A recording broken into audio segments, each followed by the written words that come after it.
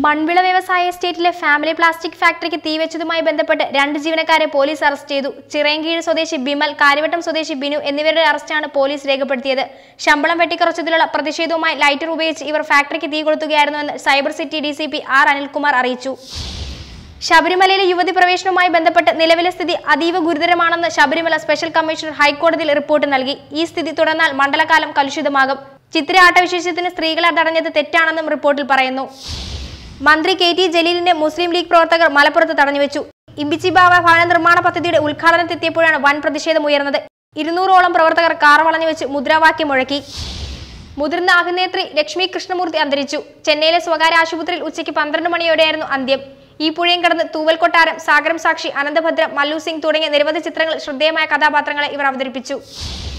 രാമക്ഷേത്ര നിർമ്മാണവുമായി ബന്ധപ്പെട്ട ഓർഡിനൻസിനായി മൂന്ന് മെഗാ റാലികൾ സംഘടിപ്പിക്കാൻ ഒരുങ്ങി R S S. Ayodhya Nagpur Bengaluru തുടങ്ങിയ നഗരങ്ങളിലായി നവംബർ ഇരുപത്തിയഞ്ചിനാണ് റാലി നടത്തുന്നത്.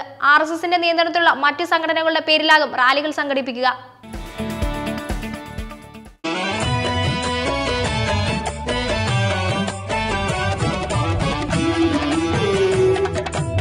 സ്വർണ ചരിത്രത്തിന്റെ നൂറ്റിയൊന്ന് വർഷങ്ങൾ. ചുങ്കത്ത് ജ്വല്ലറി അനുഭവം അതാണ് സത്യം.